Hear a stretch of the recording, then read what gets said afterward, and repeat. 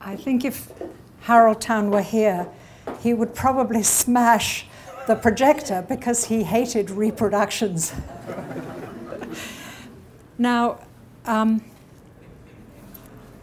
the magic wand. Can you all hear me? Good. I suspect that those of you who already know something about Harold Town will be surprised that I would start my talk on him with this image. And I promise you there are more surprises coming. But first, I want to express my thanks to Art Canada Institute, who are launching this book and who realized without my prompting that this would be the best possible cover image for the book. I want to thank them for giving me this chance to reveal what I believe is a largely unknown Harold Town. Um, I, have lectured on Canadian art um, at the University of Guelph and other institutions for about 20 years. And um, I want to say that, that this series of Art Canada Institute books is beyond the wildest dreams I would have had as a professor of Canadian art history for a resource on Canadian art. So I want to thank the inimitable Sara Angel, who is the begetter of this wonderful project. And um, thanks also to the wonderful editors at Art Canada Institute, Rick Archbold and Meg Taylor, who were a great education to work with. Thanks to Dominique Denis, who has made me sound so sophisticated in French, and picture researcher Gabby Abrams for their wonderful work, and the, the web technicians too. And I also want to thank those people who have given time and assistance during the course of my research. I've pestered quite a lot of people, and I'm still on my way to pester others who have memories of town and who have insights into his work um, here this evening. I'm so pleased that Shelley Town was able to come. Um, I don't know if John Reeves is here. Um, David Silcox, unfortunately, is out of the country, but many thanks to those associates of town who have spoken with me and to the curators, gallerists, librarians, and also to my long suffering friends.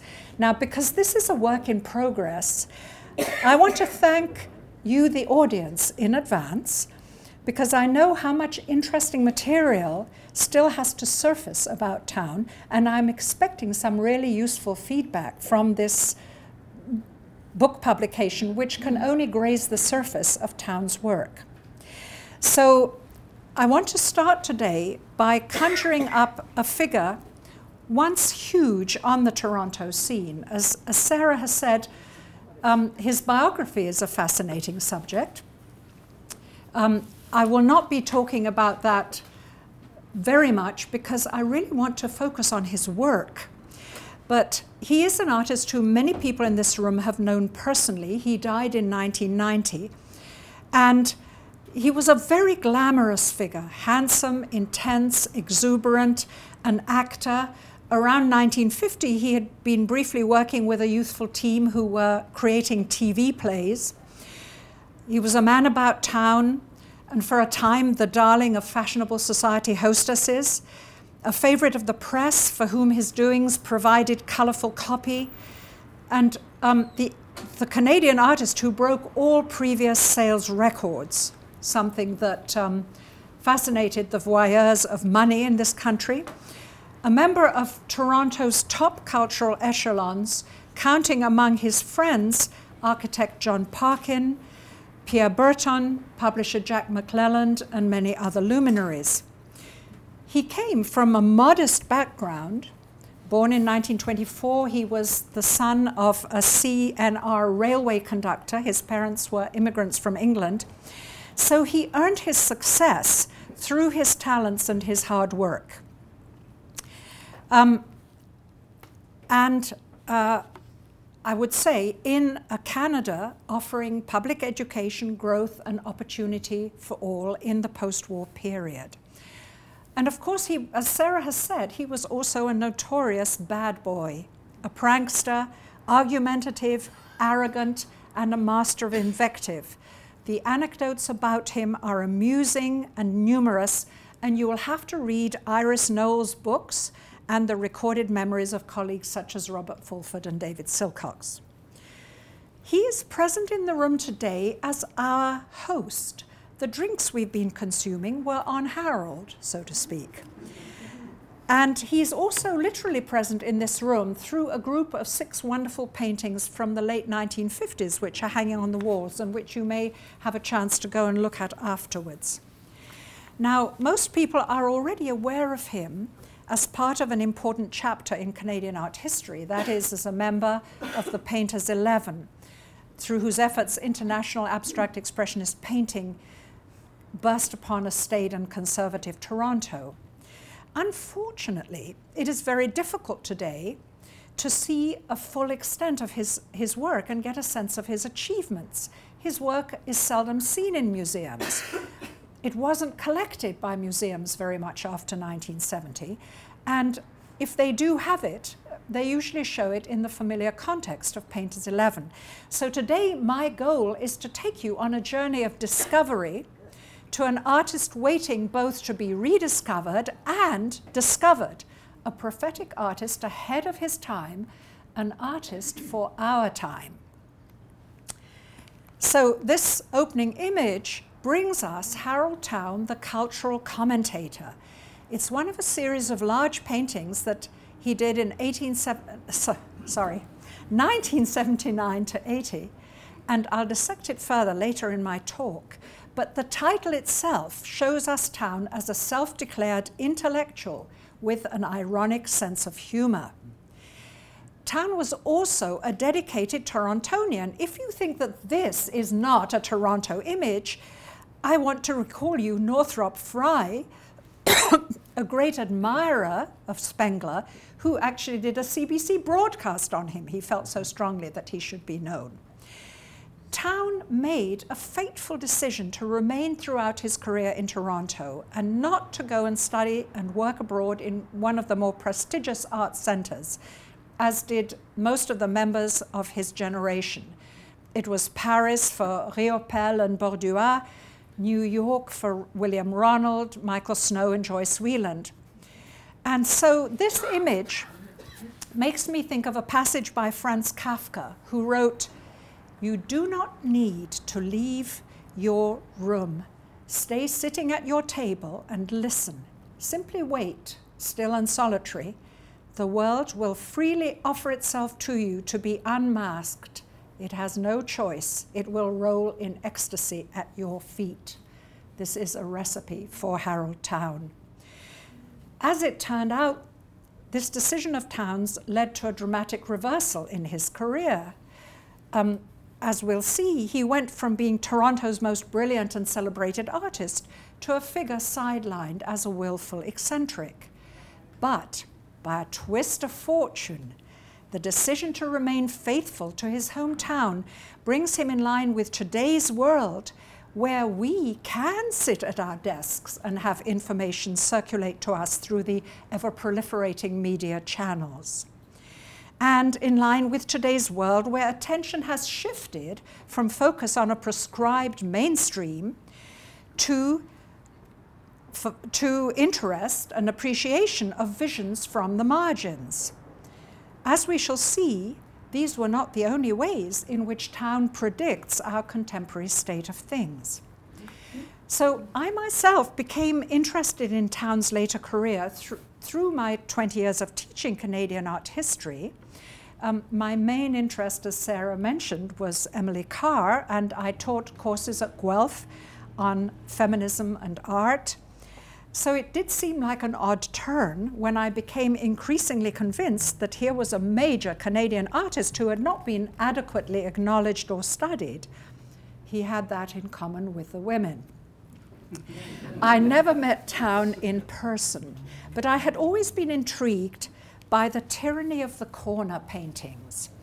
These were Town's exit strategy from abstract expressionism. The tyrannies are just one of Town's many later exploratory series that I now felt asked to be redefined and to be decoded.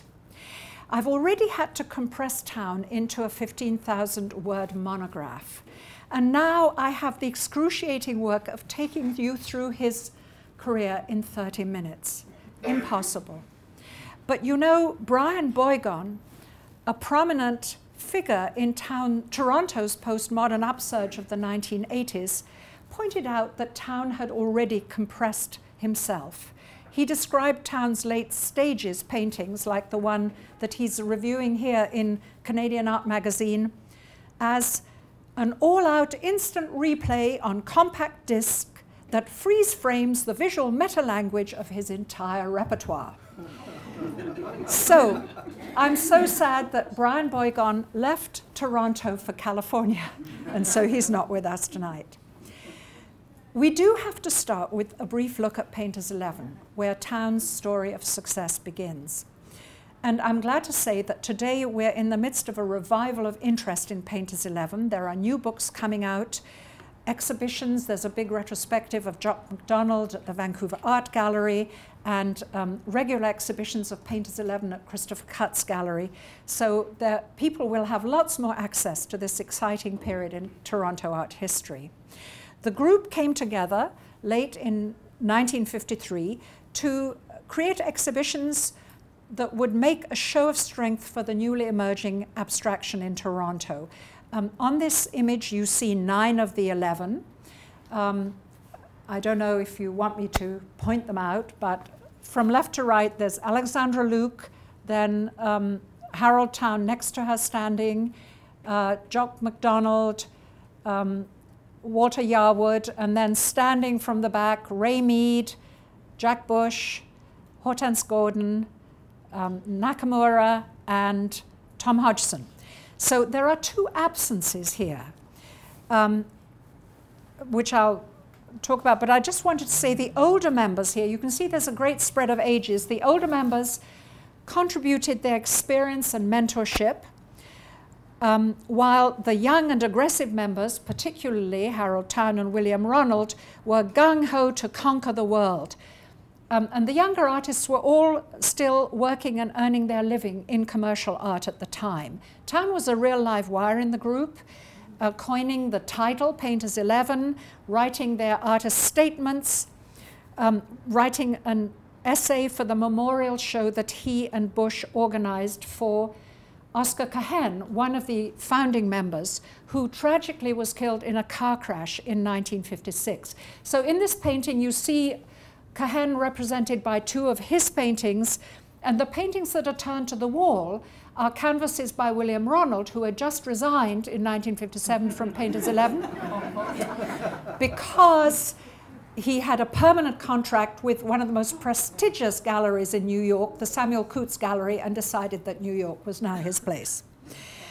So um, I do want to mention that Cahen was extremely important to town and to all the Painters 11 because he brought with him from Europe the kind of confidence in the role of art within society and culture and the kind of acquaintance with the modern art movements that was there in New York through the presence of European refugee artists who had come there during the war. And artists like Max Ernst, um, Juan Miro, Piet Mondrian, and um, I think it hasn't been realized how important that aspect of Cahen's presence was, as well as his own wonderful painting. So Painters 11 set out to revolutionize the Toronto cultural scene. We have to remember that this was an extremely exciting period in Toronto. Nin the 1950s were the period of post-war recovery of economies, um, restoration of travel and communications, it was the eve of an era of unprecedented affluence. The city of Toronto grew beyond its boundaries at Eglinton Avenue.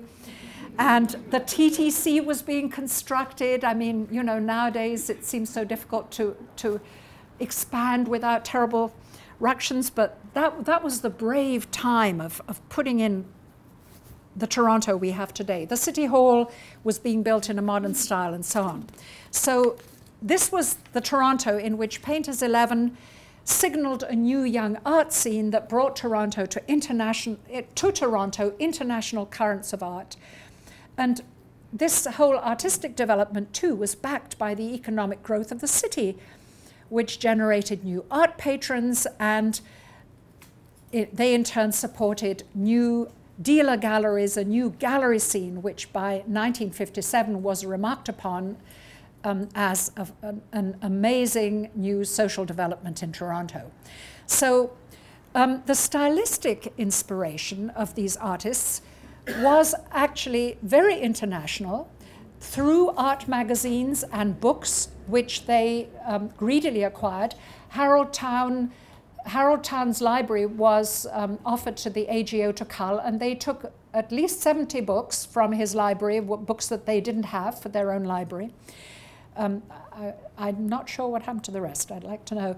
But um, also, uh, well, th there wasn't so much opportunity to see international art um, in Toronto until uh, there was none at all until 1949, after the end of the war, when there was a big exhibition of British, French, and American contemporary painting.